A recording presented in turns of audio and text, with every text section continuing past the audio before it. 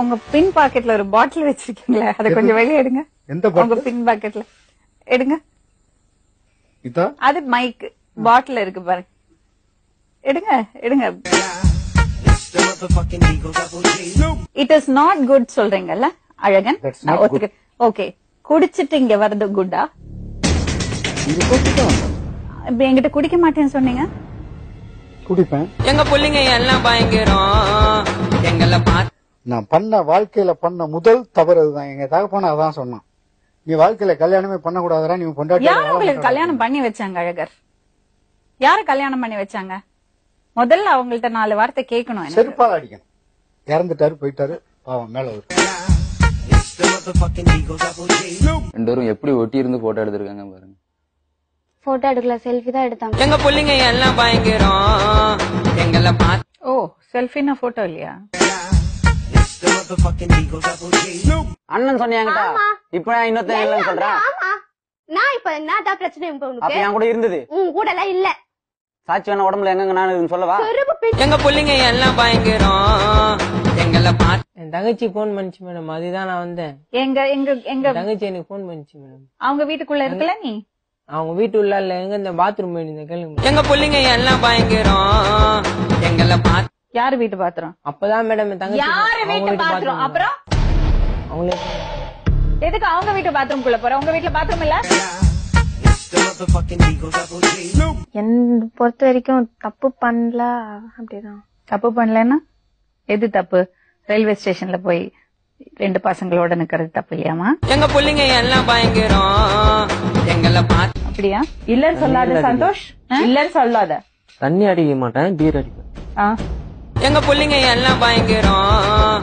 எங்களை பார்த்து பீர் வந்து பெப்சியோ. பாத்ரூம் நீ நான் என்ன பண்ணோம்? யாரு பார்த்தா? என்னது யாரு நான் பார்த்தா? அந்த பொண்ணு கூட நான் இருந்ததுக்கு ஒரு ஆதாரம் இருக்கு. எங்க புள்ளைங்க எல்லாம் பயங்கரம்.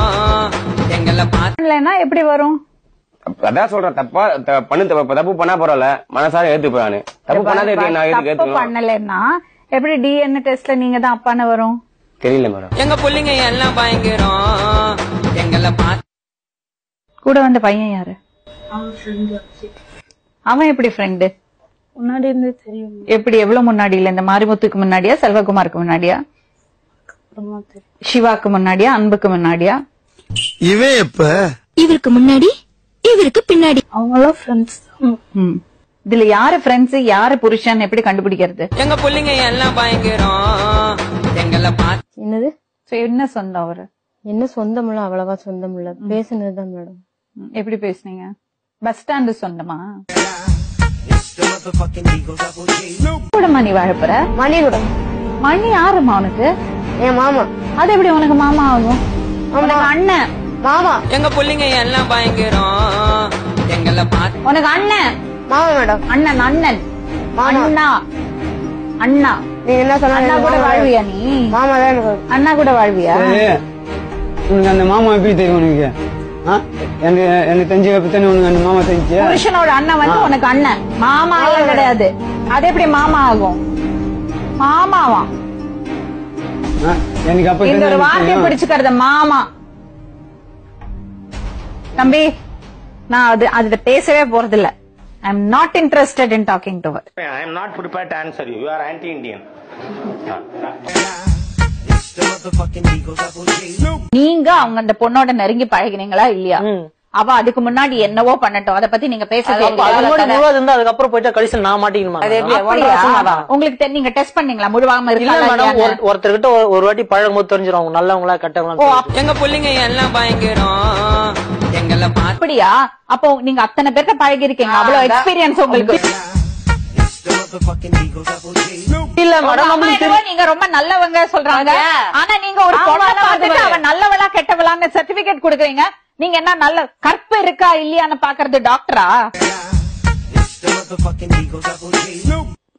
அதுக்கு மட்டும் நீ எனக்கு விளக்கம் சொல்ல மாட்டேங்கிற.